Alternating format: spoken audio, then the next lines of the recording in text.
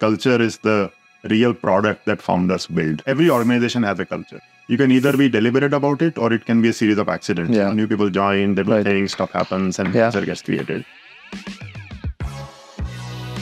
Where people in US are still not realizing the potential of what India can do, and uh, I think it's it's a lost opportunity for them. One of my OKRs in life is hopefully 10 people from companies that I start, they work there and they start 10 unicorns. Now we have six months of cash left.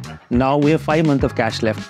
And that was not causing people to panic or leave. It was creating a sense of, boss, we need to make something work. People say, why are they not starting a company? Like, I don't have a good idea. Yeah.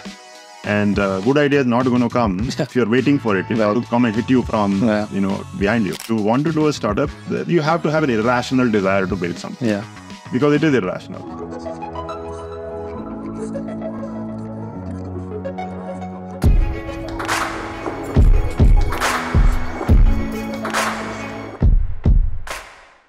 Hello, I am Mukesh Bansal. Welcome to SparX. Our guest today is Ajeet Singh. Ajeet is a twice unicorn founder. He is also a close friend, someone I went to college with. It has been incredible to watch his journey. He started Nutanix, which was one of the biggest tech IPO on Nasdaq in 2016. His second company, ThoughtSpot, is now worth over $4 billion. Ajeet is a very product centric leader who obsesses about getting the product right. In this episode, we'll discuss what it takes to build a very strong foundation that results in a unique culture, which becomes a strong advantage for the company in the long run. Ajeet shares his thought process about building highly differentiated products, how to get the fundamentals right.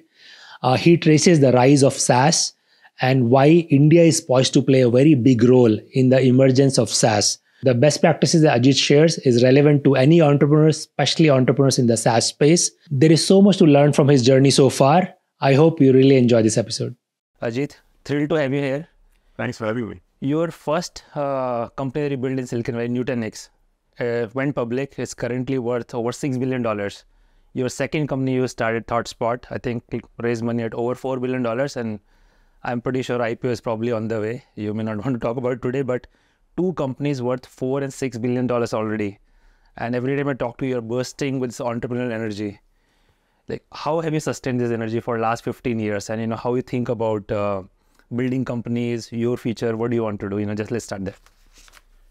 Yeah, so I'd say um, I've been extremely fortunate to be part of teams that have built these uh, companies, and uh, there are uh, maybe a couple of things that uh, give me energy. One is I've always enjoyed um, building things from scratch. So this joy of creating something out of nothing um, is is really core to my source of energy.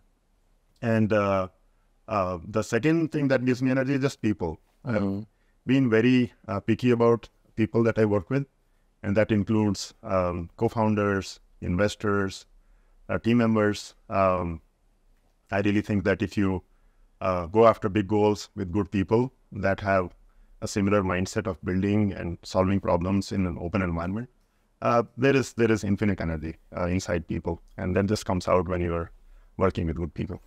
That's very humble of you, Ajeet. I think there are not many people in the world who have built two companies back to back worth, you know, multi-billion dollars and probably very good future ahead of them.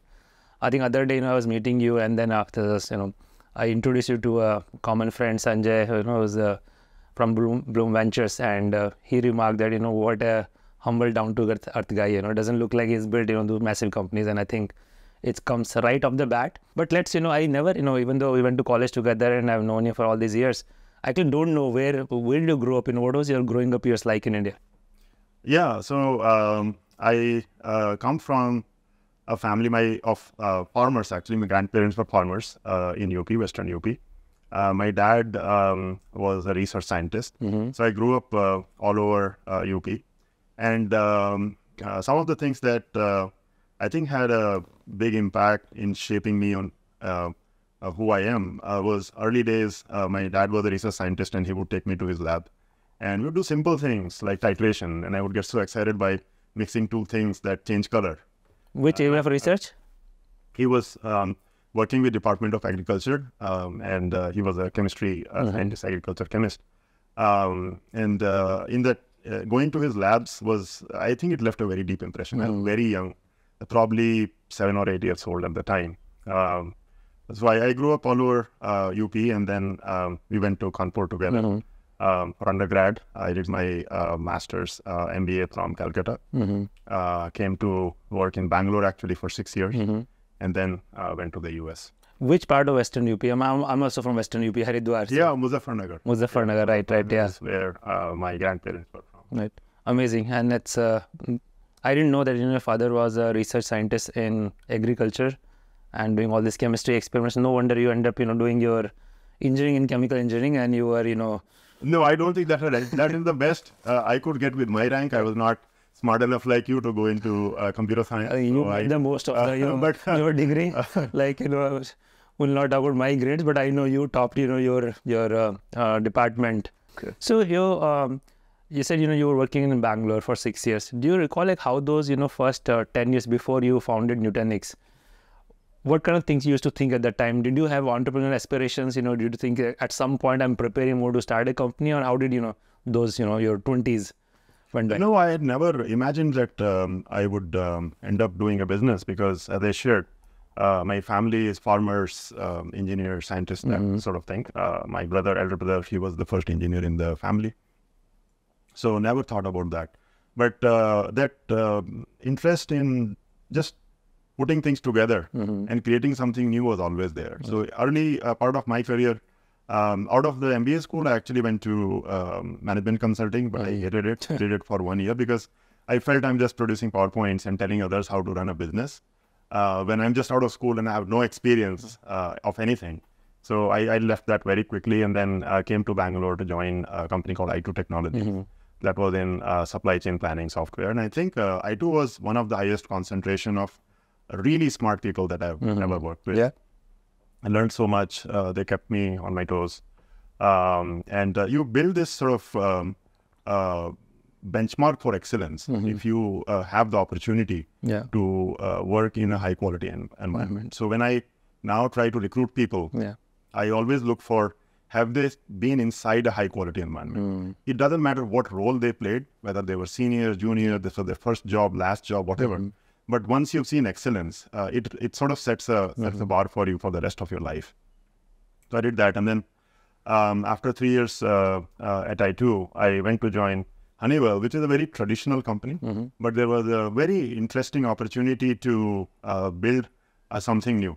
I had the good fortune of working with a VP of marketing and product management uh, who was based in US actually. He was uh, part of the aerospace business. And uh, he wanted to bring, um, uh, I don't know if you heard of this OnStar um, technology that GM had built for remote monitoring of cars. Okay. So if you're driving a car, all the sensors would send data, Right. and uh, uh, OnStar would monitor the health of the car. If you are into an accident, they can automatically call Yeah. um, uh, medical help and so on. So he wanted to uh, bring that sort of technology to uh, monitoring of business jet engines. Honeywell is the global leader Right. in uh, that segment, uh, small jets uh, engines, and uh, the way they were monitored was very sort of uh, manual. If you uh, bring a plane from Mumbai to Delhi, uh, or maybe Mumbai to Banaras, Yeah. and something goes wrong, you will literally have to uh, send a technician with a laptop, and then they would connect the laptop to the engine controller, download all the data, and then try to figure out what has happened. Yeah. But if you could, as soon as the plane lands, if you have a GSM antenna, then you can transmit that data. Mm. Correct. And once you have all the data, you can basically monitor this Mm-hmm. whole um, fleet of uh, planes that are flying around. Yeah. So that was the opportunity. I went there, and I learned so much Mm-hmm. uh, at at a place like Honeywell. I learned how to build something new, uh, a new business. Yeah. Um, I am. We work with IDEO, the design firm, Yeah.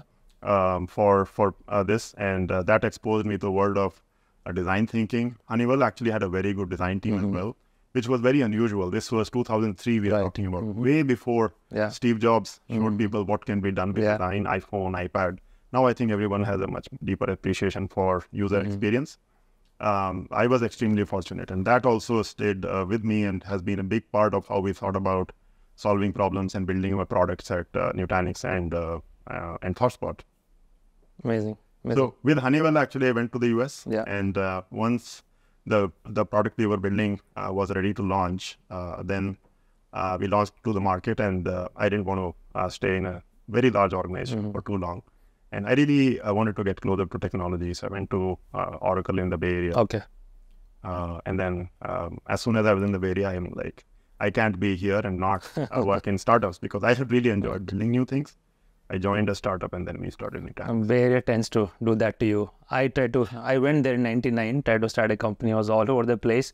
But, you know, just listening to your, um, you know, first uh, seven, eight years of, you know, work experience.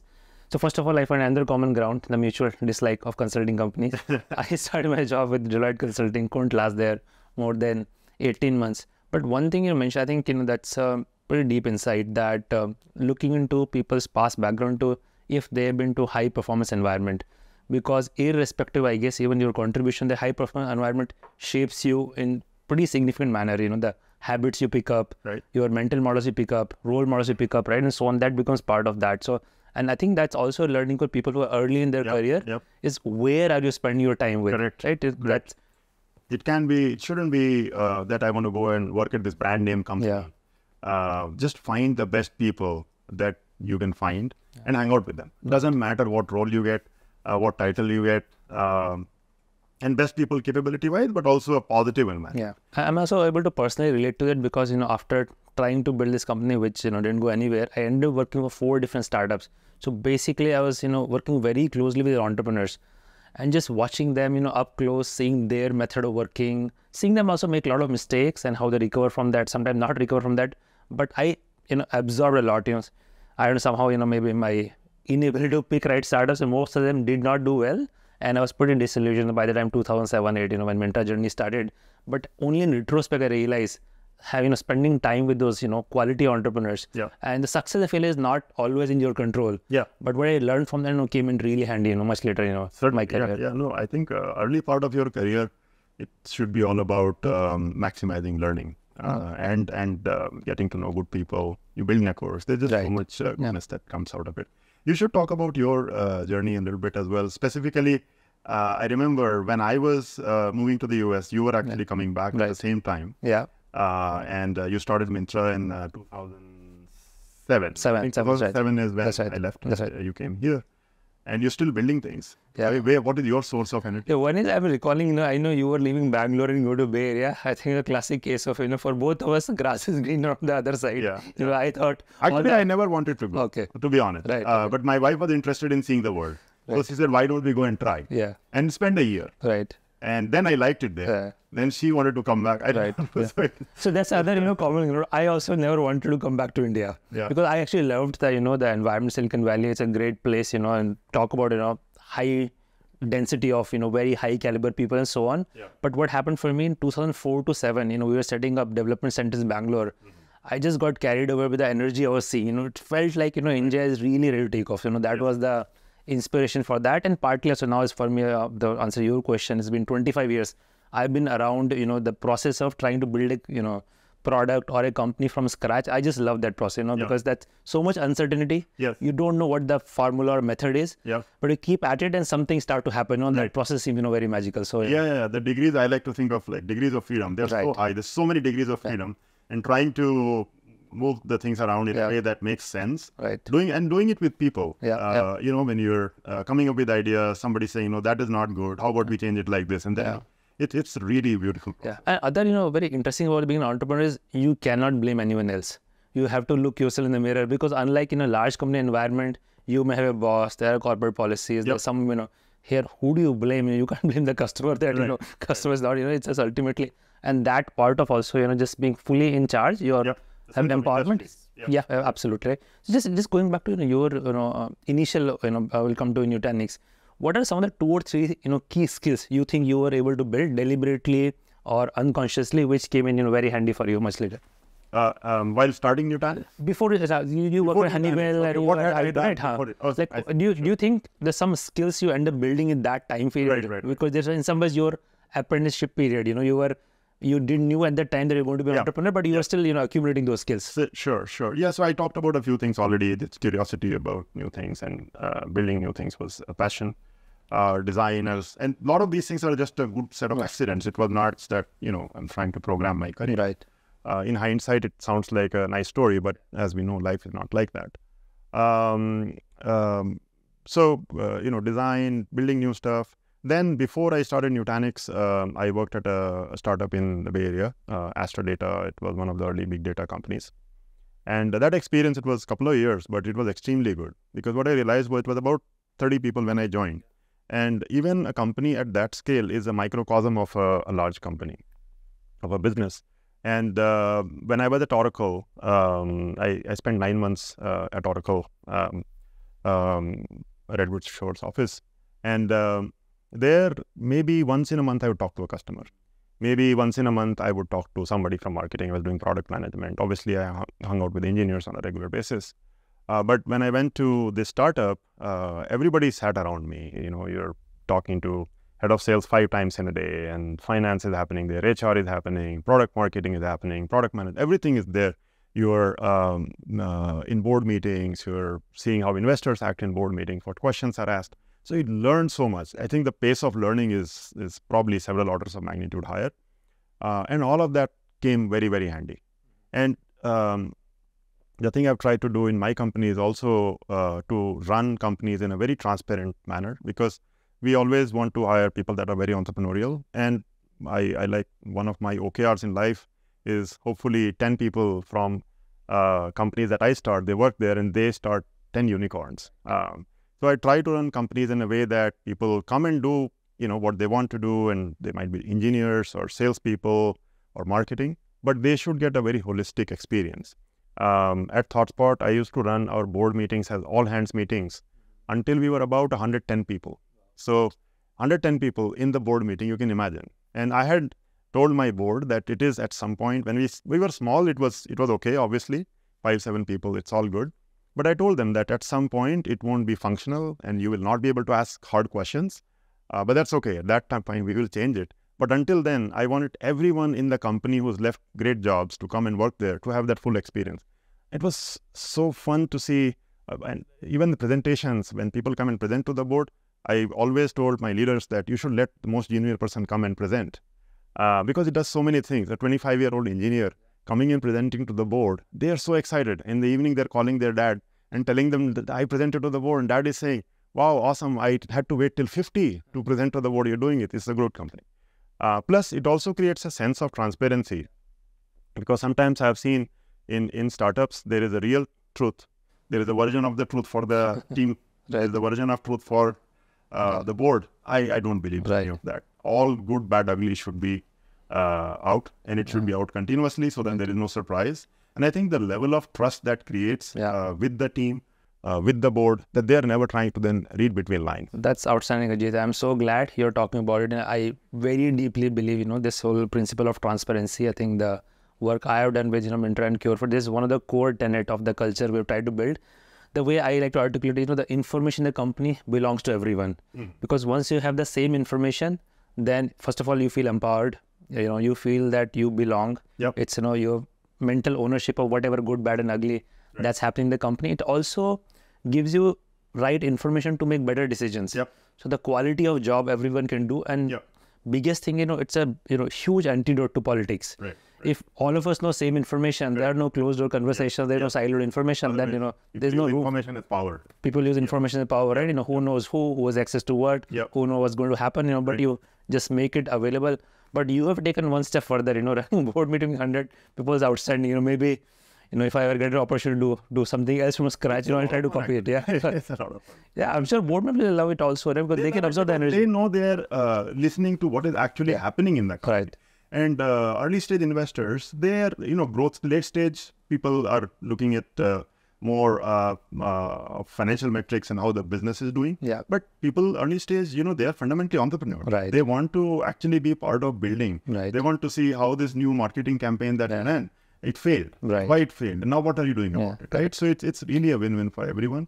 Plus, I also like to think of this uh, when you're building an organization in a startup. You all you everybody has got their their brain with ideas. Yeah. But you're also building a shared brain. Right. You know, it's all of yes. this. power brain is connected yeah. some with some uh, high bandwidth, yeah. low latency network. That way, uh, if everyone has the same context, yeah. there's a lot of uh, management overhead goes away Right. because you don't have to keep telling people Correct. about what to do, why we are Yeah. doing certain things. It, it is. It is- Yeah, I think I want to just double underline because I think you know a lot of early stage entrepreneurs will probably watch this. If they can, you know, um, use this you know tool and just make information available to everyone, I think they'll end up building very different type of company. And I, I think there are companies which do this, but again, in India, I see a lot of companies which don't. You know, where there's sense of you know founders know something, Yep. senior leader know something else, you know, and so on, and that just you know will end up building very different company. It will look like both of us at least agree. I It's totally agree, and I think it's a good thing for the entrepreneur also because otherwise, if you're trying to present this sort of game face in front of everyone, then you're keeping the stress of all the problems with you, yeah. And there is going to be a little bit of fear of sharing. But Right. once everyone knows all the problems, you will also be relieved, Right. and then you can actually focus team's energy Yeah. on solving those problems, right. as opposed to trying to manage optics. Yeah. And by the way, the employees, team members, they're very smart. Hmm. If you're hiring smart people, even if you don't tell them, they will know something is wrong. Correct. And they will assume the worst. Yeah. It's better to tell them. Yeah. And they actually want to solve problems. I've never found if we told the team that hey, here is a problem, uh, that uh, they uh, they might have uh, initially uh, some concerns, but then the next reaction is okay, Yeah. let's get together and solve. it." Right. That's how we are. The Yeah. And for me, you know, initial trigger for this uh, came from the very first startup I work in Silicon Valley, Nextag. This guy Frank, you know, he was a CTO, and we used in in every all hands he will come up on the stage and say, "Now we have six months of cash left. Now we have five months of cash left." And that was not causing people to panic or leave. It was creating a sense of, boss, we need to make something work. Like I want to launch my product faster than you know. Correct. And you know, the whole company was able to rally behind that, as opposed to they're trying to put on a game face and saying, you know, we are good, we're going to next next round and all that, right? and I think right. that's, and then we'll probably come back later to you know the some of the best practice across Silicon Valley companies because it is a unique culture. A lot of entrepreneurial culture has evolved there over the last 30, 40 years. We'll come back to that, Yeah, but I, I also I Hmm. think for Indian entrepreneurs, I don't want them to think that this is very common in in the area. It's not. I don't think it is. There is uh, all kinds of companies. Right. everywhere. You can read in the press. right, Um, so opportunities of doing good work and opportunities of doing you know think the wrong way. Yeah. they exist everywhere. No, great, and, uh, and maybe it's a good, good, good thing to you know clarify, emphasize that you know it's. Yeah, I mean, there are a few things to learn from Silicon Valley, but a lot of unique opportunities we have in India as well. Humans everywhere. There's no difference actually. There's no difference at all. Absolutely, I, I actually agree with that. You know, I use that you know in the B two C context when people talk about what is the difference between you know Indian consumer, US consumers. I really find no difference. Income level may be different, or they're used to certain products. So It is fundamentally human psychology and what people crave for, right? But okay, we park that. Let's come back to your startup. You know, when so Nutanix, how did the journey start? You know, was it a like knowing you? Was it a like slow, deliberate thing, or you know something clicked? You just jumped into it. Um, so um, I think we first decided we will do a company. Okay. And then we figured out what we are going to do. Right. So it was uh, a deliberate, well thought out process. And um, um, I've always felt that not getting too carried away with your idea very early is very important. Yeah. So both Nutanix and ThoughtSpot, we've been deliberate about um, picking the right market, then the right problem, and then the right Yeah. idea. Um, I had I had a mentor in um, in the valley. Um, this guy, uh, his name is Mark Leslie. Mm-hmm. He was um, the founding CEO of Veritas, built it from 20 people to a Yeah. really large company, Right. and and so forth. He says uh, he likes to say, "I go very slow until I go very fast." Right. So that's sort of how I've tried to operate, um, at least for very important uh, Yeah. decisions. Right. You know, there's other things you can decide quickly, but uh, if you're uh, starting a company, um, changing the market is the hardest thing. Yeah. Changing the problem is a little bit less harder, but still hard. Changing idea, idea will evolve. Right. Like you have an idea, you'll have a lot of assumptions Yeah. um, you'll tweak. But um, both ThoughtSpot and Nutanix, we spent a bunch of time, I would say six to nine months, just studying different markets Yeah. and trying to figure out which markets have a um, lot of money being spent. Technology has become old. We will have, as a team, some unfair advantage Yeah. uh, to solve problem. But we also learned a lot. Right. So the other thing we did when we started Nutanix was to um, identify some role model companies. Mm-hmm. Um, and at the time, uh, Data Domain, uh, Palo Alto Networks, these were Yeah. uh, very successful companies in the enterprise infrastructure space. And we connected with the with the CEOs, people that CMOs, CROs, uh, all of them Mm-hmm. in those companies where we could hire. We hired from them. Yeah. We signed them up as advisors. They invested. Many of them are investors in um, ThoughtSpot as well. Yeah. Uh, we learned a lot, Right. and uh, that um, explicit desire to identify absolutely the best people, Mm-hmm. and then uh, connecting with them and learning from them. Uh, that was uh, a big part of being able to do whatever we were able to do. And I've found that uh, people that are uh, successful, they actually want to share, even and they're not looking for Mm-hmm. Right. any return Yeah. Uh, because they know that there are other people They who help them. Correct, correct, correct. Um, so that's another thing which um, I found really good about uh, the Valley, Mhm. and I see that happening. It's definitely uh, in starting to happen. You know, well, we have as some history of companies right, exactly. starting to become successful yeah. because like an ecosystem. Right, that's You know, absolutely- ecosystem is a very very Right. important. I think the uh, you know the point you talked about um, that you first decided to start and then over a period of time you know figure out what the idea is. I think we should talk more about that because a lot of people you know when have or who have entrepreneurial ambition, they wait for the right idea to Hmm. Happen yeah, to them. yeah, but yeah. what I have you know noticed is the, the way I look at it is let's say I have a full time job and part time thinking about something that just you know one or two hour of bandwidth going to something. Mm-hmm. But if I start and now full time you know 12 hours 14 hours a day I'm obsessing about that thing Correct. so the the acceleration of you know the information that I have access to, the people I'm talking to, Mm-hmm. and the quality of idea I'll come up six or nine months down the line. So that dilemma of you know you start and then figure out the idea later versus you have a great idea and then you quit your job. You know, what's your recommendation? How should people think about that? Yeah, I think this is the most common refrain I hear when people say, "Why are they not starting a company?" Like, I don't have a good idea, Yeah, and uh, good idea is not going to come if you're waiting for it. It Right. will come and hit you from Yeah. you know behind you. uh, you have to go and, and seek it. So I really believe in uh, if you want to do a company, do a company. Yeah. Um, the startup I was talking about, Aster Data, the, the co-founder and CTO, um, he was into skydiving yeah, and he used to talk about doing a startup like skydiving. Hmm. And he said, when you go up, I I, I have fear of heights, so I can never do skydiving. Uh, but um, he said uh, when you uh, go up uh, with a trainer, uh, you're doing a tandem jump, and the trainer would tell you to look up and jump, Hmm. because if you look down, you'll never jump. Uh, Startups are like that Right. also. So if you want to do a startup, you have to have an irrational desire to build something yeah, because it is irrational. There is so much unknowns. Uh, that you know, risk adjusted. Good people can work in large companies, make a Right. ton of money, and have a good quality of life and everything. So you have to have right, uh, that desire. Uh, but if you do have, then don't wait for the idea because idea is actually that's the job. yeah, You know, you don't start a company after you have an idea. Correct. Sometimes uh, I've seen people in their day jobs they run into problems yeah, that they then want to go and turn it into a company, Right. Mm-hmm. which is a perfectly fine way to actually build companies. Many Right. very successful companies have been Right. built like Yeah. that. Uh, but that happens few and far between because if you limit yourself to what you have seen Yeah. in the past, Right. there'll be a very small set. If you're lucky, you'll find something, otherwise not. So if I can just build on that, right? So someone who really want to be an entrepreneur, probably they can you know spend some time skill building and also creating some runway for them because once you start, you need to be at it for at least few years because nothing's going to happen, you know, before two, three, four years.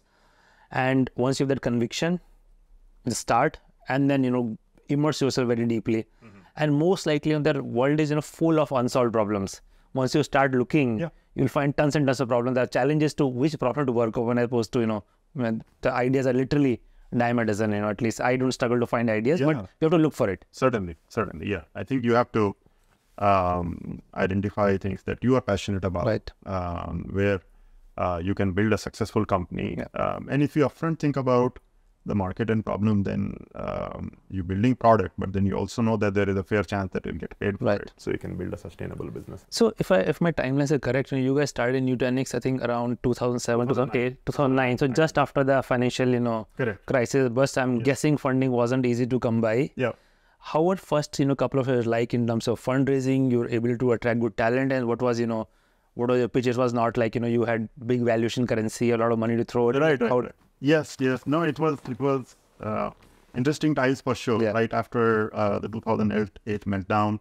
Um, personally, for me, uh, my son was born a second kid the same week that uh, we started Mm. Nutanix, so it was uh, crazy times. Um, but uh, all of us had this feeling that we have to go and try to build a company because once we had been in a startup, yeah. see what it takes to build it. We felt we can do it as well. Um, that's another thing. If you work in startups, you know you get confidence about your own ability. Um, and uh, we had a friend um, who had recently become a VC, uh, Bipul, uh, Bipul. He's actually doing Rubrik now. Uh, and uh, we knew him, so he he uh, put in uh, a, a small uh, seed dollar uh, seed amount. Yeah. Um, we raised a million and a half dollars uh, in seed. Uh, Bloomberg Capital they wrote a million dollar Mm-hmm. uh, check, and uh, another another half a million came from uh, their network. Uh, but after that, recruiting was hard work. Yeah. Uh, recruiting took a lot of energy. And I really believe whether you're a first time entrepreneur or a 10th time entrepreneur, it doesn't really Yeah. matter. If you want to build really the most world class team where people are really good at what they do, they have good attitude, and they're hungry, Mm-hmm. Yeah. it's going to take a lot of time. Right. So recruiting has been my passion. Uh, when I started ThoughtSpot, um, uh, I lived in Sunnyvale in uh, in the Bay Area, and our office was in Redwood City. So Google office was on the way, Yeah. and uh, there is a Starbucks on Pier Avenue. I probably did close to 150 meetings in the first two years, Right. coffee meetings. Yeah. Every day, literally uh, up or down, I would be meeting people there. And uh, it people say it's hard to uh, re- recruit good Google engineers, I- uh, but I recruited a bunch of And I hope there was a scheduled meeting, or you just you know walking into Starbucks and or Google and just going No, I don't think I've ever been that desperate. It doesn't really work. Yeah. Uh, but yeah, I did reach out to a lot of people very cold on LinkedIn, and they would respond and they would be up for meeting. And then you spend time uh, understanding um, who they are, what they're passionate about. Right. Uh, you're not offering them a job. Right. You're trying to um, find is there a true calling inside this person, Mm-hmm. And uh, is there a innate desire to do something different. Yeah. So you kind of find people in these big companies who uh, hate being in big organizations. Right. Google is a very successful company, but at the same time, uh, there is so much money coming through ads Yeah. search Right. uh, that uh, there is it's very hard to do fundamental innovation Right. because it could disrupt the business. Yeah. So you find those people that mix Right. high quality uh, but sort of disgruntled people, Yeah. and uh, they they make for great team. Right. But you have to work on recruiting. And part of you know building on one hand, you know, as an early stage startup, you have to uh, convince people to join. You know, I'm guessing you are not paying the market salaries. You know, at least not in early days. Not even close. Yeah. People are taking 60, 70, 80 percent Right. uh, haircut. And do you think that's also right model even for these days? You know, people are able to start company with a sizable seed check also. But do you think it's a, also creates a different type of you know culture and dynamics? It's yeah, it's uh, that creates the right selection bias. Yeah. you know, people that want to build they uh, come in. It doesn't matter how much money you have. If you're, I always feel that there is a lower bound and there is an upper bound. Yeah. You, the lower bound is if someone has to really think about their basic quality of life. If they are going to think about should I take my family to a restaurant, should I send my kid to this Yeah. school, and uh, by coming to my company, I don't want to have. Right. I don't want them to go through. that. Uh, but then if you are uh, taking a lot of money, at least early stage, Yeah. um, um, as salary, that's not the best use because that salary could be used by somebody else and your stock could go up. So Right. I think that's an area where um, it seems from what I have seen here, Nutanix and, and ThoughtSpot both have substantial teams. Right. Appreciation for uh, stock is a little bit less. It's Right. improving as people are seeing better outcomes Right. um, in, in India. But I think it is absolutely necessary because Right. it creates the right alignment in Right. the incentives Yeah. for everyone. So as part of you know developing startup ecosystem in India, I think both for the early stage entrepreneurs and people who want to work in early stage companies, which are probably going to offer exponential uh, learning opportunities to really understand this aspect that you need to leave some money on the table now. You go for ESOP, ESOP come with their you know, equal risk reward equation. May not work out. It works out. It can work out really well. I'm pretty sure both Nutanix and ThoughtSpot, you guys have created probably a huge number of millionaires. Uh, you know, but that is that comes much much later in the game, right? You know, just understanding and appreciating that on both sides will help create the right team structure and uh, right culture. But on the other side of you know, you also have the you have to evaluate the right people to bring in the company. And I think you're building a lot more deep tech company compared to you know what I have done. But from this pro engineering point, of view, what is your mental model? What make what convince you someone is going to be an outstanding engineer or engineering leader? Yeah. So outstanding engineer or engineer lead, engineering leader um, is, uh, of course, a function of uh, what you are building Yeah. and um, and the role that you you're hiring them for. There's a few things that I have tried to uh, use um, when I uh, look at talent. If I'm looking for leaders, I always want to give them an opportunity to do something more than what they have done. if I'm looking for a VP of marketing and if they've been VP of marketing three times, I'm probably not going to Right. talk to them. Mm. Um, so giving people uh, an opportunity to grow is very very important uh, because there is certain potential and skills they have, Yeah. and then what you offer them, what platform. These three things go into Sure. being, you know, the amazing performer Yeah. that you want everyone on the team to be. Uh, now, how do you assess their um, skills and potential? Uh, skill wise, you can look at their background, and I have not built deep technical products as a hand on engineer. So I always lean on my co founders or other technical leaders in the team to do that. I've learned enough over time in both uh, Nutanix and ThoughtSpot going through all the design and architecture. I always enjoy learning. I've learned enough that I Right. can have you know pretty decent discussions there to get a sense for the complexity of problems that Yeah. people have worked on. Um, but uh, I think that is fairly easy to assess. Technical skills are easy to assess. From a potential point of view, you want to see have they been growing in their job? Right. Have they been stuck in one place for too long? Yeah. It's sort of obvious thing. Right. Um, but uh, then uh, attitude is also very, very important. So we always um, made it very easy for us to reject a candidate, even if they were really good, um, but looked like might have an attitude issue Yeah. that will make for a low performance of the team. So looking at their performance, And did you guys something like you know as a I mean both the company worked on in the at some stage they start growing really fast, but uh, you and your other co-founders you know were you interviewing uh, at least one co-founder interviewing a person until a certain stage of the company? I think at some point you have to let go. Yeah. You have to let go of. Uh, I hear sometimes there's a 500 people company and one co-founder has to meet. Uh, if they can't meet, I don't think it Right. scales that well. Um, because you have to from day one think that the company is bigger than you. Right. Uh, as as long as you feel that you actually are going to add value Yeah. by interviewing everyone, Right. you should. Mm-hmm. In the early days, I actually used to play recruiter as well. Meaning, Right. I wanted to make sure candidates have amazing experience. Mm-hmm. So I'd get the team together. We have five Right. people, seven people. Tomorrow there is a great candidate who's Yeah. coming. Who's going to talk to them about what mm-hmm. you're going to focus on data structures and Right. algorithms. You're going to focus on design and architecture. You'll focus on interpersonal. I mean, general guidance. Obviously, people can Yeah. talk about whatever. But then, as soon as one first person is done, Right. the next person has to meet and the feedback Yeah. all the experience is is um, uh, is um, very important so i spent a lot of time uh, doing all that I think that answer you know, gives me a little bit of window also into you know why you've been able to create you know two amazing companies, perhaps a lot more in future as well. Um, the you know the idea of uh, companies bigger than you, because there is sometime it could be tendency as a founder. I think I am the company or company something revolves around me, right? You know that. So you know that and second thing you know what you mentioned is uh, at some point think you know can somebody else do this job better than me? The job may very well be shaping the company culture or driving recruitment and so on, right? So both of those are creating an environment where you know eventually company can acquire life of its own, which is not dependent on you, and that's in some way the founder the best. so it frees you up also Right. and that way you can keep doing different things you can evolve as well Right. if i am doing the same thing when I, when there are five people or 500 people Yeah. or 5000 people how have i Right. as a leader right. or as a person i want to have fun as well i want to learn new Right. things i don't want to keep doing the same thing Yeah. over and over Right. Right. So um, if you're not uh, uh, letting uh, uh, new team members come in without talking to you because you don't trust others to be able to do, that's bad. Right. But if you, there, are, I always told people, for example, like every other tech company, uh, we had diversity challenges too. Yeah. We wanted to bring diverse candidates. So I told recruiter, doesn't matter. Even if you were hiring, um, say, a woman engineer uh, from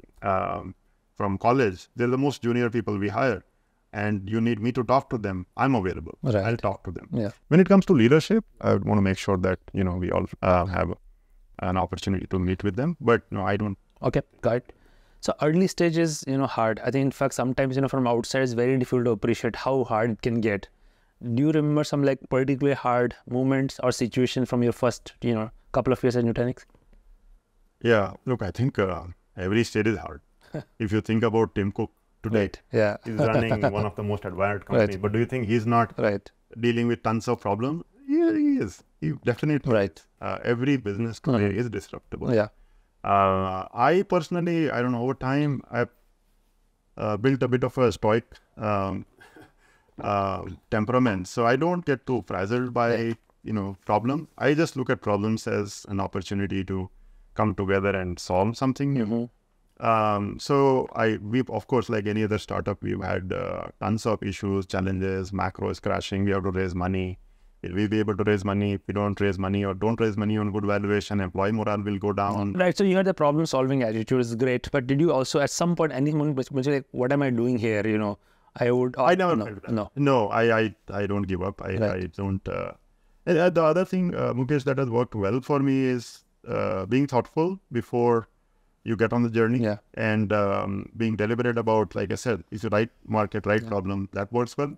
Plus, if you have good people around Yeah. you, then you don't feel that Right. stress Yeah.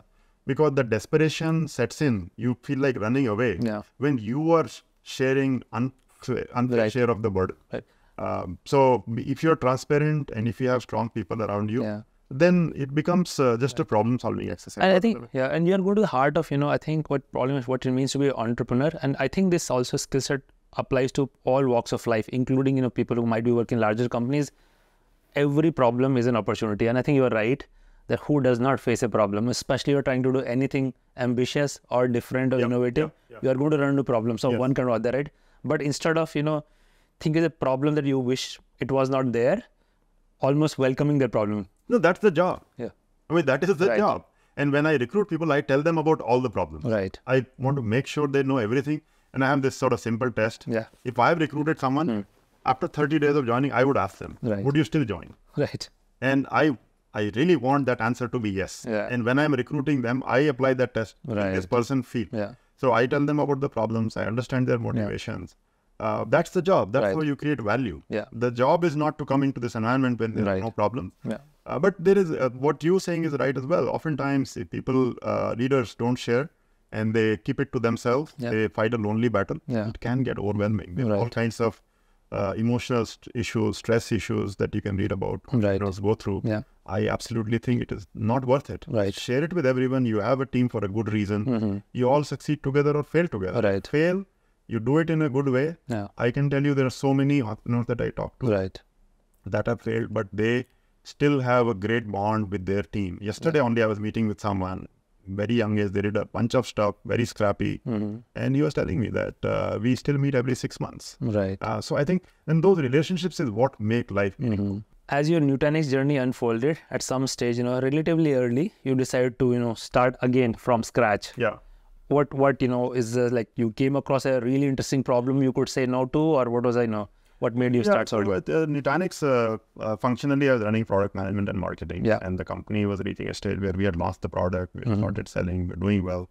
I wanted to see if I can run a full company. Mm-hmm. So um, I talked to my co-founders and our investors, and I said I want to start a second one.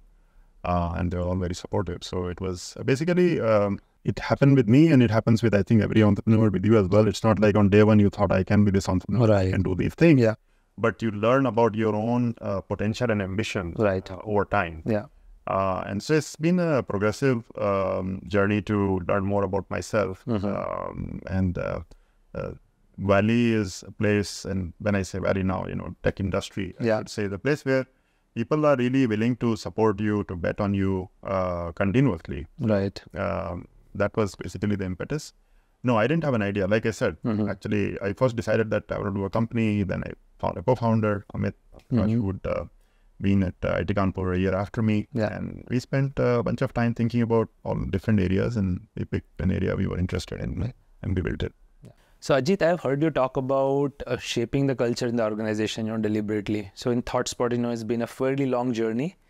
What are some of the things you know deliberately done to create a culture of particular type?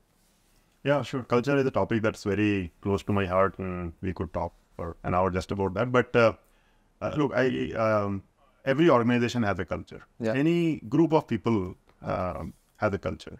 You can either be deliberate about it, or it can be a series of accidents. Yeah. New people join, they do Right. things, stuff happens, and Yeah. culture gets created. Um, I believe in being very deliberate about uh, building the culture, and I, I really think that culture is the real product that founders build. Mm-hmm. You know, the other product and business gets built by the team. Um, of course, team has to be extremely involved in Yeah. culture for the culture to scale and um, and thrive. Um, but um, we've tried to be very deliberate, and a few things we've done. I think at ThoughtSpot, six months into the company, we took the time to sort of define crisply Mm-hmm. who we are. And oftentimes you'd see this very complicated, long corporate culture Yeah. statements and all that. I we try to keep it very simple. We use two words to describe the culture: selfless excellence. So one, strive to be the best. Mm-hmm. Excellence means you want to be the best as a professional, Yeah. What you do, as a team. Um, but it doesn't mean that you'll be excellent at day one Yeah. it shouldn't come with this sort of sense of you're pursuing excellence. Mm-hmm. You are not excellent on day one. You're making mistakes. You're learning, and all that is happening. But while you do that, you do it in a selfless manner. Yeah. Meaning, um, you always put the team ahead of yourself. In trying to be excellent yourself, you're not becoming excellent by pulling other people around you Right. down by playing politics Mm-hmm. and so on and so forth. So there is this sort of tension between these Yeah. two words, and we use these two words to describe what the culture is. Uh, as a leader, you have to act what you say. So that's Mm-hmm. Yeah. rule number one. You can define the culture and, and put posters up, but if you don't act Yeah. like that, then nobody is going to believe. You have to communicate very actively. Mm-hmm. Um, so small things. We created a, a channel, Selfless Excellence, where uh, you would see even today um, people are recognizing others that are helping them in so many ways. Right. people see others going um, um, be, be, way beyond above um, their uh, job. Um, continuously, they're being recognized. Right. Um, you have to reward the culture. So, you know, these things are pretty common. You have a quarterly selfless excellence award um, in the company. Very importantly, you also have to uh, act when you see violation of Yeah. culture. If people are acting in a self- selfish manner, then you have to first you uh, have to talk to them and understand the Yeah. context. Don't uh, assume the worst. But if you find uh, people that are really toxic to the culture, you have to take corrective Right. action as well. That's that's so important. And uh, like everything else, you have to let others be custodian of Yeah. the culture. You have to be there to enable, uh, but uh, others have to talk about culture as well. They have to act like that. And oftentimes people say, "What is what do you mean by culture? What is Yeah. culture?" And I think that culture is how people act when nobody is watching, Right. when nobody's telling them what to do. And if you can inculcate that mindset, Right. then um, uh, it can go a long way. Another important point I would want to make is culture shouldn't mean that you create sort of a cult where Well, I have created cults so uh, I think we're talking about different Okay. things. Uh, but uh, uh, all ideas are welcome. Right. Uh, it should never be that you talk about, oh, this is how we've always done things. Uh, diverse ideas, change, openness to change, all of that is extremely important. yeah. Uh, but core values, there has to be a. Right, right. Now, I love this idea of selfless uh, excellence. You know, I came across this quote. It's amazing what you can achieve if you don't care who gets the credit. Yeah. I think the, uh, the idea of selfless excellence, you know, goes to the heart of that. Right. And this whole thing of Ajeet, you know, being deliberately designing for a culture, you realize this early on in Nutanix or early on thoughts, but when did it become a you know deliberate thing where you said took mental ownership that I am going to design the culture for a particular objective in a particular manner? I think it was more at ThoughtSpot because I mean, I mean, I think we built a great culture at Nutanix Yeah. as well. Uh, but um, this time I was more deliberate about communicating it Yeah. and and synthesizing it into a couple of words. Right. Um, and uh, like everything else, I felt that if we don't do it, it won't scale. Right. And um, if you want to build a company that outlasts you, hmm uh, you have to ingrain that Right. in the culture of the company. Yeah. And I felt that uh, rather than coming up with 10 values, big statements Right. about culture, uh, it's uh, going to be much easier Right. if there are two words that we use. And you can talk to anyone if you tap anyone on the shoulder Mhm. at ThoughtSpot and Right. ask them what the culture is Yeah. and describe this. And hopefully they also believe that uh, we acted. And it's Right. very important. If Right. leaders stop acting, Yeah. then nobody's going to believe. Right. So you absolutely have to role model, you know. But beyond that, you know, did you also create any kind of artifacts in terms of either policies or rituals or a particular language? I guess selfless excellence itself is a ter- term that you coined. Yeah. But just you know, think of examples such as you know, Amazon has you know bar raiser or six pager you know document or uh, uh, or two pizza team and so on. Like this, you know, some of those things which you know binds the intent behind the culture into Yeah. visible things. Yeah, yeah, yeah. So um, some of those rituals which are more specific to functions, how you run, for example, your sales forecast. Right. There is a process for that. How do you do product reviews? There is a process for that. How do you do design workshops? Sure. There is a process for Yeah. that. Um, always writing before speaking. Is, Yeah. That's uh, another thing that we did um, Mhm. very actively. I thought, and we learned from all these Right. companies. It's not like Mhm. uh, we had to innovate everything from Yeah. scratch. Netflix, Amazon, Yeah. and others. They have certain aspects that are really good, and obviously, ultimately, you're building very unique Right. company, a very unique culture. You're picking parts and pieces from other places, adding your own, making all of Right. that your own. Uh, I found this uh, simple idea of a Slack channel where Mm. anyone and everyone can recognize selfless excellence Right. um, to be extremely powerful. Uh, because when people start talking about Yeah. it, that's when it really, really becomes right. ingrained in the Yeah, speaking of you know design and culture deliberately, I um, remember one particular incident you know from Myntra days, and again we didn't invent that. We copied from somewhere. You know, I forgot. But you know, we were at some point we were trying, we were growing very fast, and we were forgetting you know the who we are servicing, which is the consumer who's going to buy from online. So at some point, you know, we um, we put up a chair in all conference room Yeah, yeah. with this ribbon around the customer. Correct, correct. And then you know almost they were trying to talk to that person also. You know, Correct, we are going to make this choice because we think this is how it's going to benefit. You know, that's Correct, correct. one you know, very visible reminder to people. You know, for Correct, correct. you know, uh, at that time we really want to champion that Yeah. we need to do Yeah. customer centric things, Right, right? Yeah. And so on, right? So, but I think this, you know, just this, uh, it's something you know probably again early stage founders may not think a lot about. You know, probably more so in India that what you said that you know culture is probably the biggest product you are creating. Mm-hmm. And if you don't create it proactively, it will end up creating itself. You know, by everybody brings some culture with them. They're used to you know the environment they come from, Correct. and become some you know mashup of Yep. all those you know miscellaneous things. Some may be good, some may not be good, some may be at odds with each other. Yep. So I think taking the mental ownership is you know super important. It probably also requires time for introspecting reflection because in early stage startup, you know, most important thing is you are trying to recruit some people, you know, which is not easy. You are trying to make product market fit happen. You are trying to raise money. So you have a bunch of you know very tangible tasks. Mm-hmm. How do you create this mental bandwidth to also think about the softer aspects?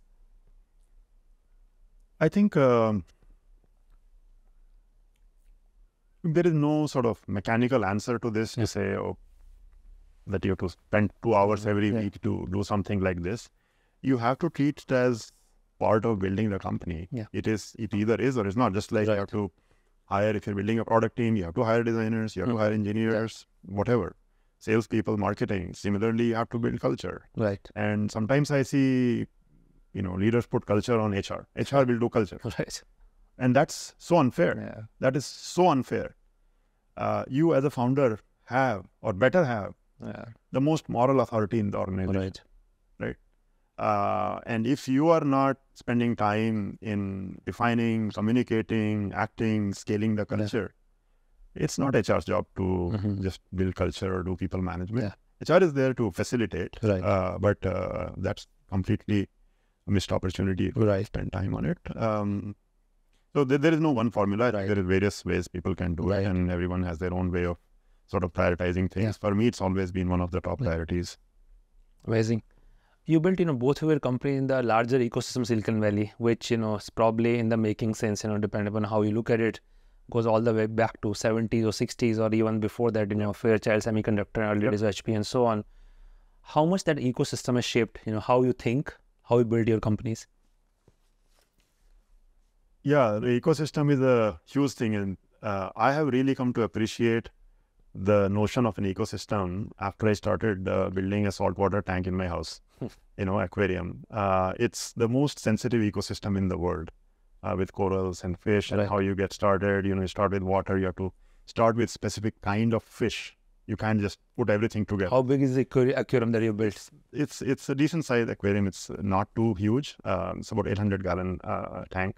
It came with the house. Right. I, not, but uh, during COVID we emptied it because I don't have people. I cannot. It's like it's very complex to manage it. Yeah. Uh, but uh, what I was getting to was that you have to very slowly and deliberately build that ecosystem. Yeah. You have to start with uh, these fish, and then algae starts to happen, and then at some point you can add certain kind of other fish, and you can start to add some kind of corals that are going to be more hardy corals, and then eventually, if you do a good enough job, where you can control so many parameters, temperature, nitrogen, ammonia, so many things have to be monitored within very tight control limit Mhm. then you can add certain kind of corals. So um, I've lived in Silicon Valley for the last several years, and people talk about this tech ecosystem.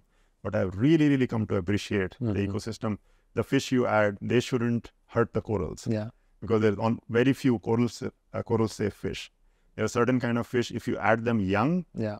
then they become used to being around corals without damaging them. If you add them more mature adult Right. uh, uh, fish, then they will uh, damage the corals. Um, so uh, it has had a huge impact on me.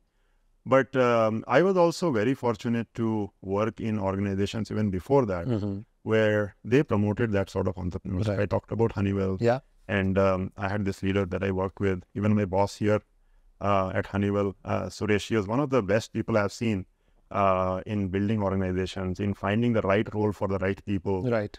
Um, so if you are curious, you'll keep learning always.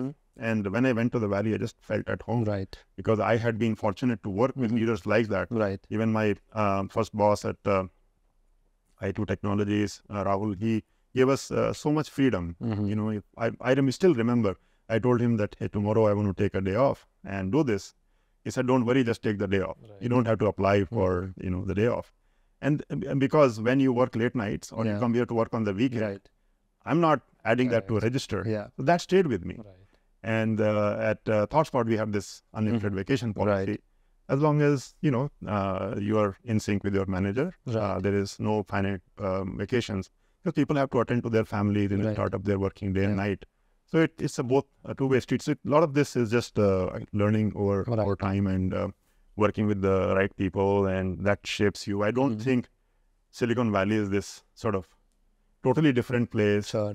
where you come and you uh, uh, you just cannot even find pieces and parts Yeah. of that culture in other places. Right. I was able to. And, and and we are obviously seeing that you know happen. I mean, Israel has done outstanding job. I think you know both in Bangalore and Gurgaon. I think the ecosystem has matured uh, considerably, and we'll probably talk about that in a lot more detail.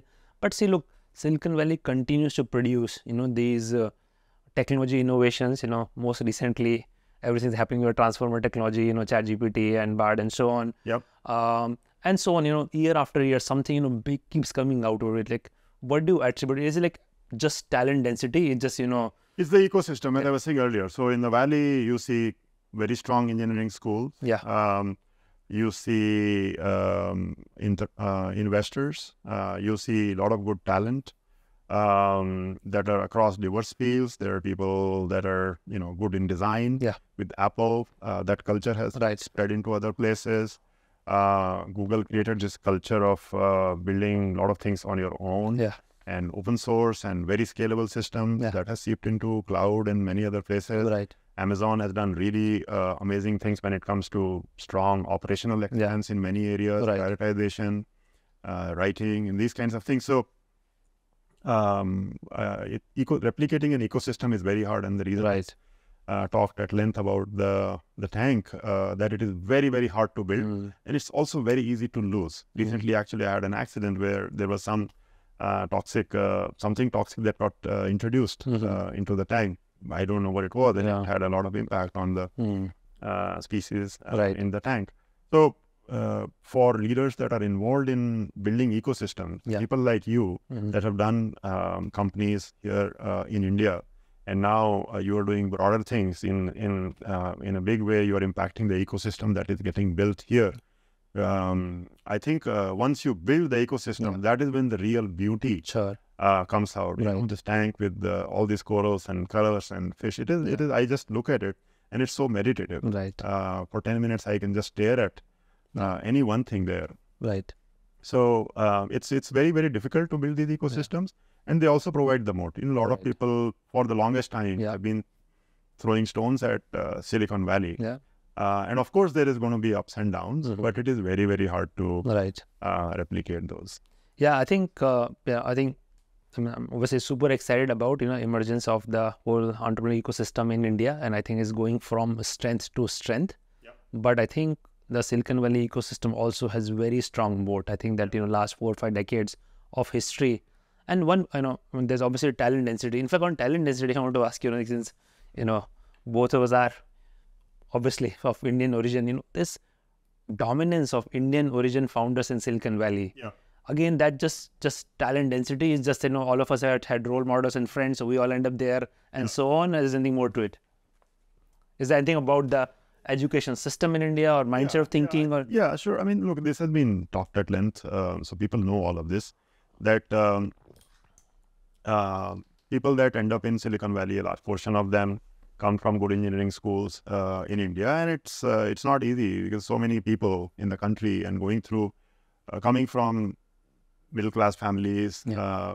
lot of good work ethic, Yeah. or your work ethic is the only thing that can actually even help you get there. Yeah. And uh, that work ethic combined with this sort of, uh, you know, feeling that there's nothing to lose. Yeah. I came from a place where we had, you know, decent food and education, but there was uh, not any big cushion Yeah. uh, around you. Uh, if you have that mentality, that and and you get there, you see that passion in people, um, and uh, they can build great companies. Right. Um, I don't think there is anything more to it. There is nothing fundamentally different. Uh, there is good talent everywhere, and uh, a lot of that talent through osmosis has also spread into many other places. There's a lot of people from Silicon Valley that have come back to Right. uh, the Bay Area, like you, you know, investors who have come back Yeah. uh, and are doing great things here. Um, COVID definitely helped spread that out Yeah. a little bit more, even in US. This is like Austin are now thriving. Right. And I think that's good for the tech industry, just being concentrated in one place. Yeah. Uh, before COVID, I'd seen it had become really unhealthy level of demand supply gap uh, for talent and for anything. Yeah. You to pay a lot, and sometimes you may not uh, even get the right people for the role. Yeah. So I'm really glad that um talent is spreading everywhere, um, and uh, opportunity also now starting to uh, come up. Right. And Ajeet, you've had, I think, both of your previous companies, you guys have had development center in Bangalore. And I'm assuming meaningful portion of your engineering team was probably based out of Bangalore. Yeah. How Yeah. have you seen that, you know, ecosystem evolve? Were you able to find equal caliber engineers? Were you able to do same kind of work in both Silicon Valley and Bangalore, you know, last, you know, let's say last decade or so? No, certainly. So in Nutanix has had a, a big team uh, in Bangalore for a while. Uh, ThoughtSpot also now in India we have roughly 400 uh, people uh, globally in R&D, and 300 are in India. Okay. We actually in India have three locations now. Mhm. Bangalore uh, is where we started. Yeah. Uh, we built it uh, from uh, scratch. Um there is a guy called Puneet, Puneet Agarwal. He was really amazing. He had come from uh, the Bay Area, Stanford, Google, Yeah. came back here. So people like that Right. who've seen both sides and they make for great, you know, first time leaders Yeah. um, to start new locations. And uh, we were very clear that we actually had a no HQ culture at ThoughtSpot. I hated the term HQ Yeah. because that sounds like there's this place where all the important stuff happens Yeah. and everybody else is just there to follow orders. I, I hated that because I had been in Bangalore Yeah. and uh, being in Bangalore, we were working with teams that are global. And I, I sometimes felt that, you know, we want to have an equal seat Right. around the table. So um, we said uh, in Bangalore, we will start with teams that are fully uh, staffed Yeah. with uh, PMs, uh, designers, and engineers. Sometimes you'll see product managers sit in Yeah. in the US, and here you have software development or sometimes even bug fixing and QA and forth. Uh, but we said no, every uh, location will be a first class citizen. We'll do complete work. We have to do a good job to uh, chunk up the work in the right way so that uh, you can create autonomy. So I believe in this idea of autonomy with alignment. Yeah. So if you can do that, then you can create highly empowered team, and you also get to attract better talent. Right. Because if you're hiring engineers here and they know that the PMs and designers will Yeah. sit right here and I can do this thing completely, uh, magic happens. So now um, we are doing. There is no part of the product where Bangalore is actually not center of gravity anymore. Mhm. Lot of good work. Bang- when I sorry when I say Bangalore, uh, we started with Bangalore. I didn't complete that part. Then we acquired a company called Diyotta in Hyderabad. It's about 50 people at Yeah. the time. Now it's more than 100 people. Right. And last year, we also started a new location in Trivandrum, and we have about 25, 30 people uh, there. Yeah. And uh, um, I think it's very important to know that you have to invest in time and energy, and you have to start with the right leader. To me, uh, if you don't start with the right leader, if you hire a few uh, junior people or people that are more ICs, and then you're trying to manage them from US or any other location, I, I don't think it's about US versus India. If there is a company in one location you want to start, um, you have to start with the leader. Right. And that has really worked well. In each of these new locations, we always started with the leaders. Someone from Hyderabad actually left to start this uh, new center in uh, Trivandrum, and Right. it's uh, working very well. And do you think you know pretty much any kind of development work can happen in India, or the areas where skill gaps are there, and we need to do better job of you know building those skill gap and and you know mentorship you know, around those those areas? Um, I think though we've done, you know, UI work, we've done uh, AI work out of uh, Bangalore at ThoughtSpot. We've done database work, database kernel work. Um, I, I, I mean, there may be some very arcane areas where uh, there is still that sort of gap. Right. Uh, for example, uh, OpenAI and Bard and some of these Yeah. things are happening more right now in the US. Right. Um, it remains to be seen how many of those kinds of companies and organizations you really, really need Mhm. over time. But uh, you know, there's a lot of great machine learning talent here that can transition to this Yeah. new world of uh, LLMs. Right. And the same thing is happening in US as well. By the way. Mhm. So I think it's it's become a very level playing Yeah. field now. I don't think there is any uh, difference at all. And uh, if I can spend a minute on how I have seen the India uh, talent um, uh, ev- uh, profile evolve over time, um, that will be um, that could be useful. Yeah. So I was here till 2006. Right. As we were saying, that's when you were coming. Yeah. I was moving there, and uh, at the time uh, you had a lot of these services companies, Yeah. uh, or you had very large organizations like Oracle, Mm-hmm. uh, IBM uh, that were doing some tech work Yeah. uh, in India. I was very lucky that I too, they decided to move um, all of their product development to India. Mhm. It was out of necessity because the bubble had burst. Right. They had to cut costs. Yeah. So everything was happening. But the, those were very, very few opportunities. Mhm. Most of the work was services or product Yeah. uh, maintenance. But then you came here Yeah. and you then showed people that you can actually do B2C Mhm. companies Right. uh, with a successful exit uh, in India. Yeah. So Myntra, uh, Flipkart, and, and several others. And last five to seven years, there are very meaningful uh, B2B SaaS companies Mhm. that have been coming out of Right. India. So of course, people know about Freshworks and Yeah. Zoho. Uh, but I'm very fortunate that a lot of entrepreneurs reach out to us and they want to talk about how to grow their business. These are SaaS entrepreneurs Yeah. from India that have got into say $10 million in ARR Right. and they want to uh, learn how to get to 50, Yeah. 100 and so forth. So they, they reach out and I always am happy to uh, share my experience with the, uh, any entrepreneur. But in the process, I have actually learned a lot more from them. I have seen the way they are doing product development of in, out of India. That's uh, obviously a given. But even when it comes to sales and marketing, Yeah. they have done some very very interesting things. Mhm. And as they say, necessity is the mother of all inventions. Uh, I know a small company called Hevo Data. Actually, I met with the co- founder Mhm. yesterday. Uh, he's done such an amazing job of SEO, Yeah. content marketing and SEO, that he gets, I think, more than a million visitors to his website Right. every every month. Amazing. And I had our ThoughtSpot CMO talk to him to learn Right. from him. Great. So I, I, I think that on SaaS entrepreneurs Right. from India that are trying to build products that are Yeah. global, they should not underestimate Right. themselves. Uh, they have some unique advantages. right. I know of companies here that are now landing million plus dollar accounts Mm-hmm. in US Right. sitting from here. Of course, they have a few people Yeah. in US for very specific roles, but bulk of teams are here. Right. So if I were ever to think about another company, Yeah. I, I'm going to do even more uh, out of India. And uh, I really want people from India to know that uh, they are as capable as anyone else. And I encourage them to look at global customers from day one. Yeah. Because the flip side is if they think that it's going to be very hard to do it and they never do it, I also know of companies uh, which are very good, but they are stuck at this 20 million, 30 million in ARR selling to only um, India customers Right. or maybe, you know, Middle East, uh, APAC customers and not thinking big, thinking Yeah. global. So if you zoom out and look at you know next you know decade, do you think there are a lot of potential opportunities out of India to go after this global SaaS market? And the reason I ask is there have been you know plenty of funding that's gone into this space last five to seven years. There are probably thousands of startups you know in the broader SaaS space you know going after various verticals Yep. and industries and use case and so on. We have this very successful conference SaaSBoomi. I don't know if you attend that or not. I have not attended, but I've heard of it. Yeah. right uh, with you know so much that has already in some ways gone in but there is also a you know uh, i mean um, challenge of you know you have you're based out of here but ultimately you know you have to sell to an enterprise. And at certain beyond certain scale you have to cultivate those relationships and figure out a way to you know get an entry into the organization. So how to how should one think about you know building a large scale saas company out of india? Yeah, yeah. Look, I think uh, Indian entrepreneurs have an inherent advantage because the the uh, the velocity with which they can do things from here, it's very hard to do out of US. Uh, and even enterprise buying and selling has changed in the last 20 years. Yeah.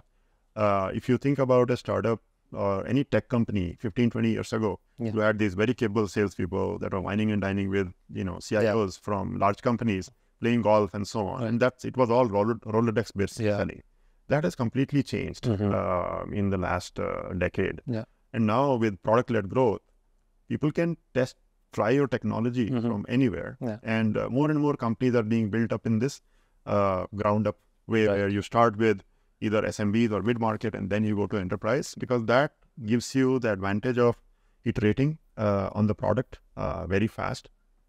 The thing though is that if you don't uh, have a few enterprise customers from the early days, you might miss out on key features Mhm. uh, which are more related to operational robustness of Right. your offering, your security, availability, scalability, those kinds of things. Mhm. That can become a bottleneck uh, for you to sell to large enterprises. So if you can be mindful about that, I don't think there is any um, a disadvantage at all. And you can always have, if it is a multi co-founder team, Yeah. I'm seeing uh, oftentimes there will be one co-founder who's in US, there is one or two here. Right. Uh, I think that is important. Just hiring, some people think that I can just hire a salesperson in Right. US Yeah. and I can stay here. That model does not really work Right. well.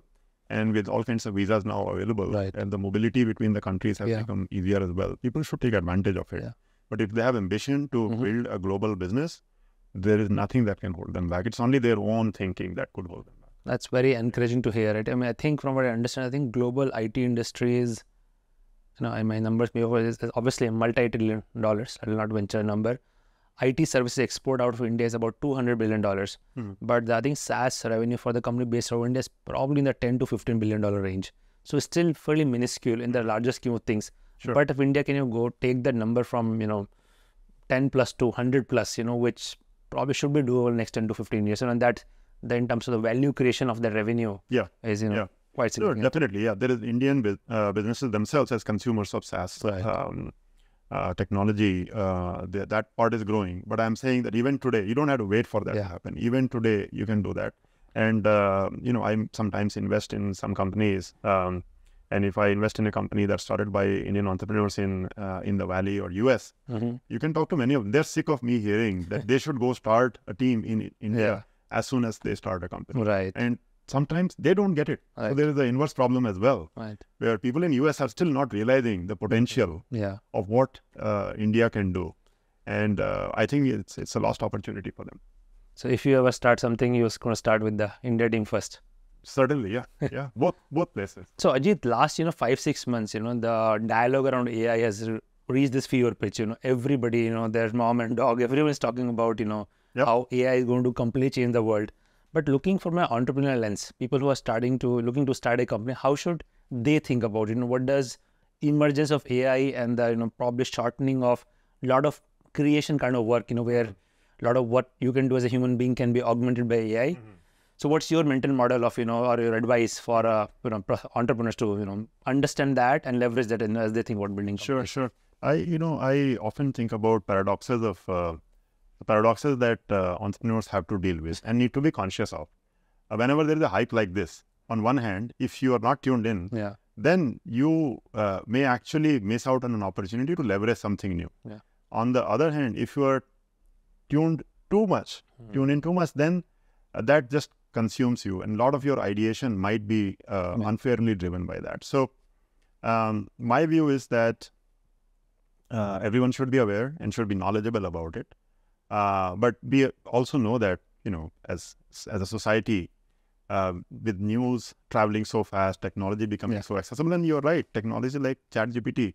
My admin was telling me the other day how she's using ChatGPT to get a lot of answers very quickly, yeah, as opposed to going to Google and going through 20 different Right. links to understand something. Uh, so it is for real.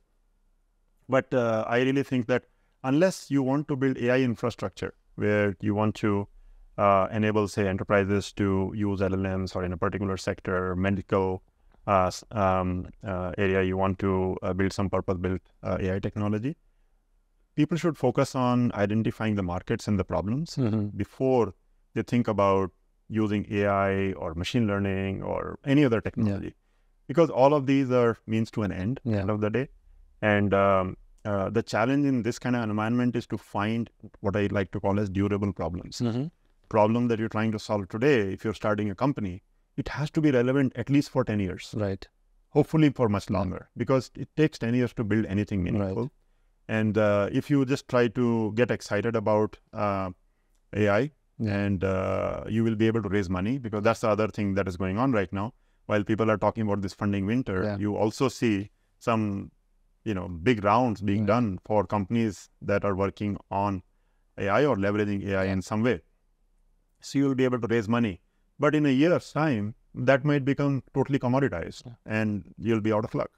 So my encouragement to everyone would be to, uh, um, of course, learn, uh, be curious, experiment uh, with it, uh, but uh, look for durable problems. Mm. Don't uh, think about AI first. Um, I really think that 2023, the whole world is in a big hackathon. Yeah. that is what all of us are doing Right. with with the, all this new Yeah. capability that are, we really don't know Right. What will work, Yeah. uh, what will be durable, uh, how eventually things will pan out, where will more value get created, uh, how many companies will build their own LLMs, or Mm. will there be a few that will be providers? Mm-hmm. All of these things are uh, Right. still up in the air. So let's keep an open mind. Let's keep experimenting and learning, but uh, just focus on the market and the problem. This idea of you know durable problems reminds me of this mental model. I think you know it's a Bezos has talked about this as you can talk about things that are going to change in five to ten years, but also focus on things that are not going to change in ten years. Yeah. Because you're clear about that, Correct. then you know you have some stability about future, Mhm. and you can then bet on that without worrying about the market or the hype. You know, to your point about you know, all the funding they're going to generate AI now. Yeah. Three years ago, all of that was going into you know crypto. You know. And where are those companies, right? You know, very little durable stuff has come out of you know all that hype and Right. uh, crazy amount of funding has gone in. But it's coming back to AI. So there you have this, you know, OpenAI platform. You can build, you know, some use cases on top of that. Yeah. But as somebody who's looking to leverage AI, what are the you know, one level below? What do they work with? You know, are there going to be a lot of these frameworks and platforms? that All this big tech is going to come up in next, you know, I don't know, few months or few years. Like, how does one actually work on it? You know, beyond all these, you know, just very superficial use cases you can build on ChatGPT. Yeah, yeah. No, I think you know you can create demoware very very Yeah. quickly now. Right. Uh, but um, uh, what is sustainable is is TBD. Yeah. Honestly, because there's talks of you know Nvidia doing their own services as well. They're acquiring companies. Mhm. Google is doing a lot of stuff. Microsoft obviously is happily Yeah. investing in this. There are startups that are being funded. So we just don't know how that is going to pan out in terms of the ecosystem, how it evolves, what is available as a service, what will happen outside, what will happen inside. Um, but um, the the best way people can really work through this is to do two things. One, core experimentation. So Yeah. experiment the hell out of it, right? Let Mhm. your teams just play with it a lot and Yeah. try different use cases. Make sure you're plugged into customers so that whatever you're doing, it solves meaningful problems Mhm. uh, for them. Uh, but then you have to also eventually build the right kind of abstraction. Yeah. For example, in ThoughtSpot context, uh, we have launched new search that is uh, uh, leveraging the 10 year of research that we have done Mhm. combined with uh, the public services that are now available. But uh, the unique problem we are trying to solve is that every customer that we sell to, they have their own data. Yeah. They are in different domains. They don't even have a common data model. Right. So we, if we just take off the shelf AI that is available Yeah. and start using it, it's very hard to predict the quality of results. Mm-hmm. Right. It won't be very good. So there's a lot of focus in making it more predictable, making the user experience more robust. Yeah. And it is a non-trivial problem. Right. We have a really, really strong team Mhm. uh, with the deep uh, AI and machine learning capabilities. Uh, but there is a lot of problems we are uncovering as we solve. I think that is a great thing Mhm. because I would have been very scared Yeah. uh, for the company Right. if it all just worked magically out of the box, That's right. right? And so many people reached out to me. Hey, you guys have been doing search. Uh, now we have OpenAI. What happens to ThoughtSpot now? And it's very clear that it is uh, actually giving us so much impetus to move forward on our mission, which Right. we talk about as making the world more fact-driven, so people can access facts very quickly. Mhm. Uh, but there are some very serious problems that still have to be solved, which combine the trifecta that we have always believed: in. Yeah. user experience, algorithms, and systems. Right. So um, I think that uh, people that are trying to build meaningful companies, Mhm. if they are focused on the right problems, Yeah. I don't think they have to be worried that what they're building uh, could be relevant. And when you know when people talk about um, creating their own custom LLM for a particular domain, how easy or difficult it is, and what does it take? For example, let's say in cult, I don't know, we want to create a fitness LLM Mhm. or health LLM, so that Yeah. I can ask it any question about health. how should one? Look, I think at best you need to do a little bit of fine tuning. I don't think building a new LLM from scratch today has a lot of. because ChatGPT already consume whatever is available, but not private data. So there is private data that will get solved. Uh, there is cost that will get solved. I am not sure if there will be a need for every company Yeah. or even hundreds of companies to build their own LLM. Right. um, I think um, what will be valuable is for people to uh, figure out the right user experience, the right way to leverage these services, and build stuff around Yeah. that. And when you're building, you, you think about it like eventually, then if there are five services, they're constantly changing. You're building your software on top of that. Right. Um, you want to um, work with partners where technology will keep uh, improving very, very fast, unless you want to be in that business Right. yourself Yeah. if that's not your area of strength, then what's the point? As long as you get the right economics, Yeah. the right controls, Mhm. because enterprise customers, rightly so, right now worried about data privacy and all that. Right. But I think that's a matter of time. It's true for anything like you know computers or, Mhm. or networks. Yeah. When networks first came about and email happened, you know, Right. people were worried that you know, oh, Yeah. should I send this email or not? Because this is data; it could go anywhere. Right. What are you currently learning?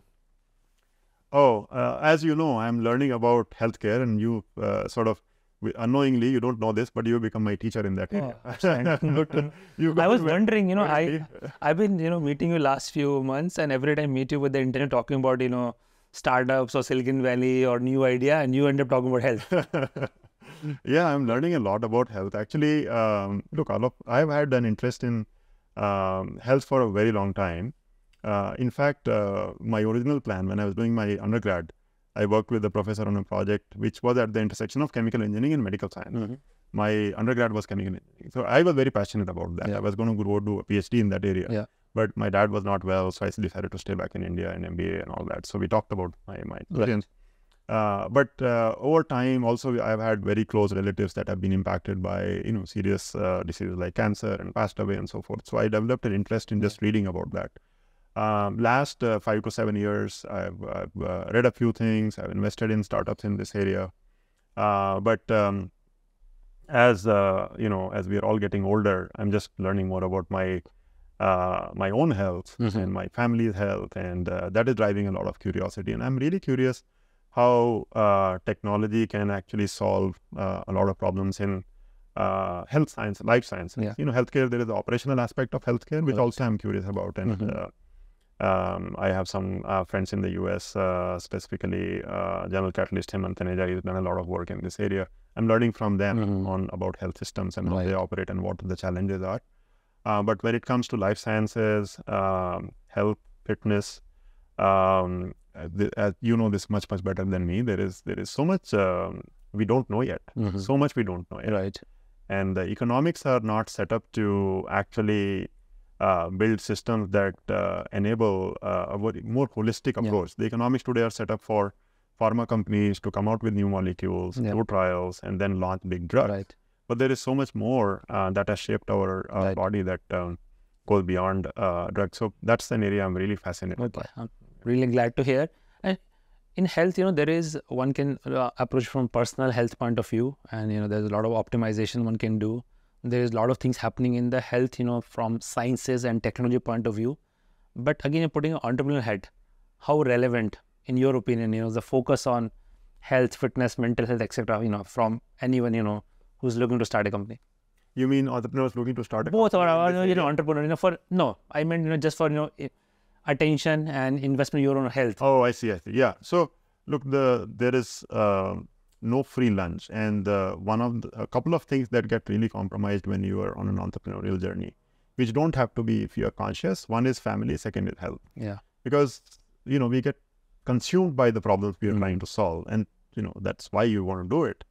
Uh, but I've learned over time that um, I actually didn't do as good a job as I, I should have. Uh, spending time uh, with my kids when they were very young, um, at least uh, my first kid when I was playing uh, Nutanix and then early days of ThoughtSpot, I was not spending as much time as I should have. Uh, but last um, five to seven years, I've become a lot more conscious and Mhm. I'm spending more time with both Yeah. my kids now. Uh, same thing goes for health as well. We take Right. it for granted until you're 40. You know, the system works pretty well. yeah You can push it to the limits, uh, but then things start to fall apart. Um, and um, I was listening to um, uh, Keith Rabois. Uh, he's an investor in the US. Mhm. Uh, has done really well. Yeah. Um, one of his bosses told him um, to make sure that he's finding time for um, for fitness every day, Yeah. And uh, that that uh, that made sense to me. So right. while uh, doing all of these things uh, is important, if you don't take care of family and health, Yeah. then in the long run you will have regrets. Right. And what is important to notice, I've noticed, I've realized that early days I'd work whatever. I never counted hours, but I maybe spending 80 hours working. Yeah. From 75 to 80, I don't think it really had a material impact Right. uh, on the on the outcome Yeah. or whatever. So basically, the incremental value you get Right. from uh, investing more into work right. versus family and health, Yeah. uh, there is the trade-off is very clear to me. Right. In fact, you know, my point of view, I think beyond a certain hours, you know, start to even sometimes become diminishing returns. Yep. Because you are Negative returns. Negative returns, Yep. right? Because you're in the echo chamber, you are not allowing yourself, you know, freedom to step back, Yep. zoom out, Yep. and let you know brain make the connection. You know, instead of you know just bogged down with the details continuously. yep. My mental model is, I think. 50 to 60 hours of very high quality you can pretty much do whatever anyone wants to do Right. and i think the reason is great you know we're talking about health you know in the context of entrepreneurship because entrepreneurship is a very long term game Yep. for you it's been you know over a decade now building you know ThoughtSpot and the, for companies we probably multi decade journey ahead of itself Right. so to find that stamina you know unless you're in a foundation from you know family health you know your just mental sharpness you know not Yep. on the, you can't you know place Not getting lost in details. You know, keeping the big picture in mind and mental health as well. And we talked about earlier how you have to have people that you can be open with Right. inside the organization and outside. Good mentors, good advisors, good friends.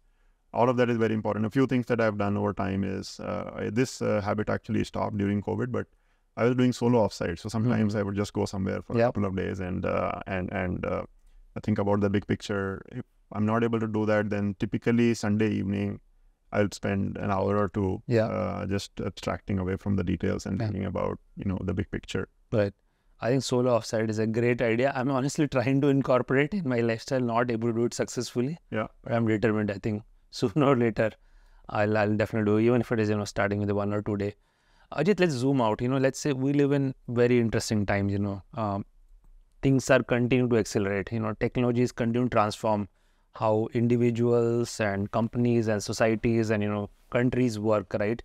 if you were to zoom out and take in next you know one or two decade picture you know what are the just big thematic things you are personally you know very excited about you know, what do you anticipate you know going to just go to affect Yeah, it's it's, it's very hard to predict 10 to 20 years out, right? Uh, and there is enough people, more qualified futurists who do it for a living and probably have a better point of view. Mhm.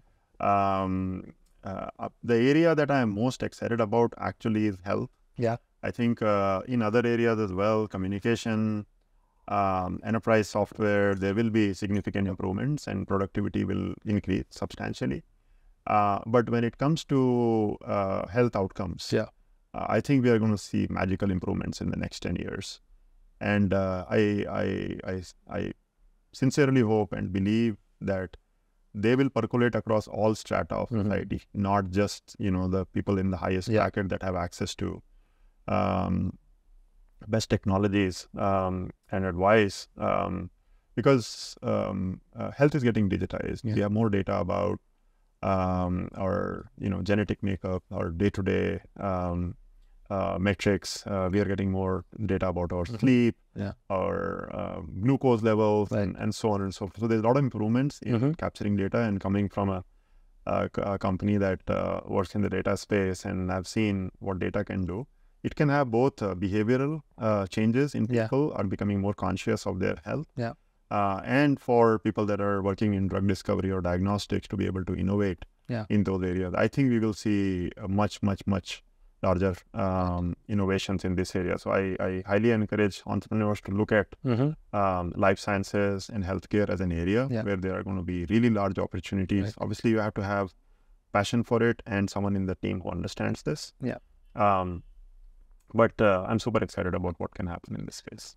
I'm totally with you. I think we're at the cusp of you know health revolution. You know, um, human body at the end of the day is extremely complicated. Yep. And uh, and an ecosystem, you know, extremely fine tuned fine tuned ecosystem. But we are starting to understand more and more about how things work. You know, what are the principles and so on. And we are also able to you know develop technology, you know, all the way you um, know, gene editing and so on, right? You know, which is probably in a matter of time can become mainstream and can be applied to solutions and that can be available to pretty much everyone, irrespective of income level. So I think definitely there's no question that you know we'll see a, a dramatic change you know happen in that area. I ask you just one last question about India. You know, there is so much excitement around India around the globe. You know, in India we talk about you know people say it's, it's going to be India century. You know, we'll see the rise of India as the you know next superpower in the world. We'll go from three trillion dollar economy to twenty trillion dollar economy over next two two and a half decades. Mm-hmm. How does it appear to you sitting out of Silicon Valley? I know you spend a lot of time here as well, mm-hmm. but you know, you know, being from India and both of us went to you know Silicon Valley in the time when you know it was harder to do things in India, not anymore. So how does this you know emerging narrative about this being India's century know, appear from distance? Yeah, I, I, I believe in it, uh, and obviously I'm going to be biased being from right. uh, India, and uh, our friend Neelkant is probably much more qualified to talk about what happens uh, here in uh, the next 10 to 15 years. But uh, no, I, I, I'm, I'm a huge believer. Uh, and uh, Indian economy itself growing um, much faster than many other places. And uh, I think a lot of it also comes down to extraneous factors. I do think that, um, you know, with the geopolitical changes that are happening around the world, there is a little bit of a tailwind that is behind the growth that can occur um, in India. Um, but also how India can actually globally have an impact on other countries, yeah. uh, it is going to be a significant change um, across uh, all sectors. Whether it is manufacturing is uh, always the lifeblood of any economy, right. and long term we have seen in US over time manufacturing went away and yeah. became very services heavy. Uh, but now manufacturing is coming back, mm-hmm. and India has the opportunity to go to the next level. Right. And the recent um, announcements around semiconductor manufacturing mm-hmm. is very, very encouraging. Yeah uh, it seems that there is a good um, political um, interest and ability uh, to make the right changes, and uh, the world is looking for you know the next um, location where big things can be done, and India is open. So I'm I'm super uh, optimistic and um, excited about what can happen inside India and how India can have a global impact. Amazing. I share your optimism about India, and like I'm like yourself, you know big believer in that. A lot of exciting things are happening in manufacturing, and I think it's probably going to huge growth driver over next, you know, 10 to 20 years. But Ajeet, I want to just, you know, just just thank you for, you know, taking this time and having this, you know, very patient conversation. I think you have done amazing things in life, you know, building two multi-billion dollar companies. It's no joke, but you talk about in a very logical, thoughtful, grounded manner. I think is very inspirational to see, you know, both your journey and I know I think you have probably a lot more gas uh, left in the tank to do you know, some amazing things in future. So uh, I learned some you know new concept, new principles about your way of thinking about building startups. I'm pretty sure you know, listeners who listen to this podcast will find those tools useful. And uh, I really want to just thank you and wish you all the best. Thank you, Mukesh. It was a lot of fun to uh, talk together. You know, we are friends outside of this, yeah. but uh, doing this kind of a talk for the first time, it was a lot of fun. Thanks for the opportunity. Thanks.